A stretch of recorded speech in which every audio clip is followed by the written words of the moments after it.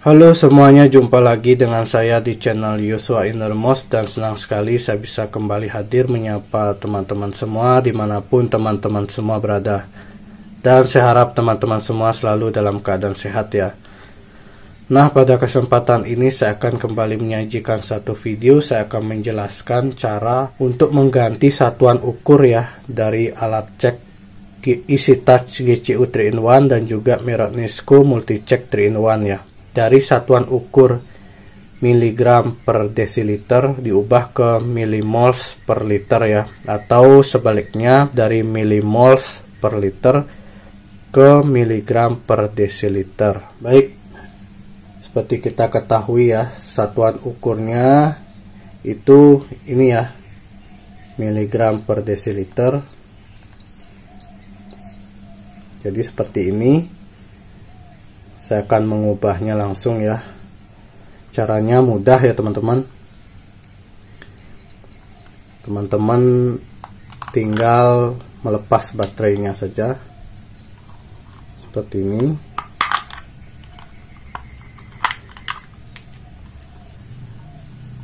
Di sini ya kita bisa lihat ada tombol switch kanan kiri ya.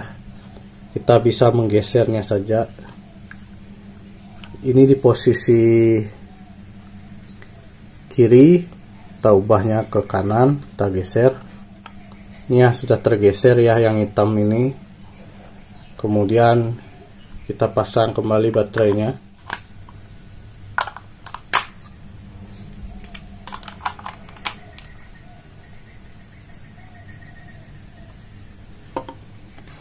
Di sini dinding school juga sama kita bisa buka baterainya dulu.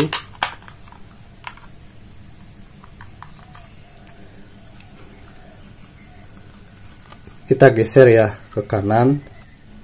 Jika sudah kita pasang baterainya ya.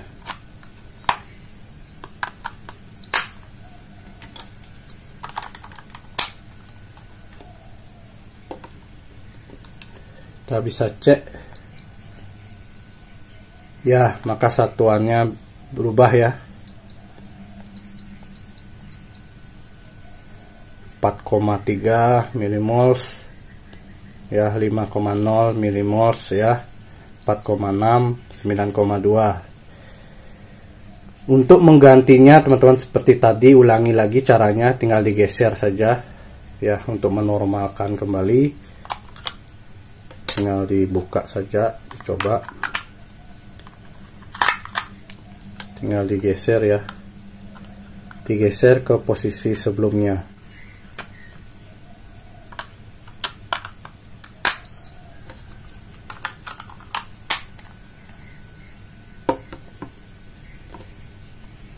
Ini yang Nesco ya. Ya sama ya sudah berubah.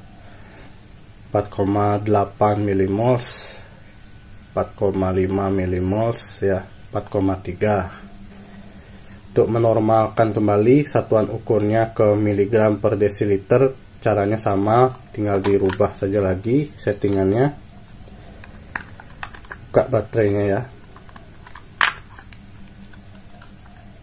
Tinggal digeser saja ke posisi yang sebelumnya. Jika sudah pasang kembali baterai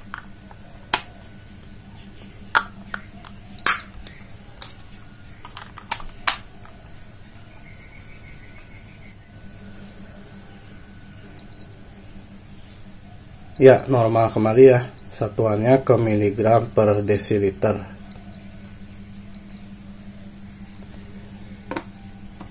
Yang merek Nisco ya kembali ya ke miligram per desiliter.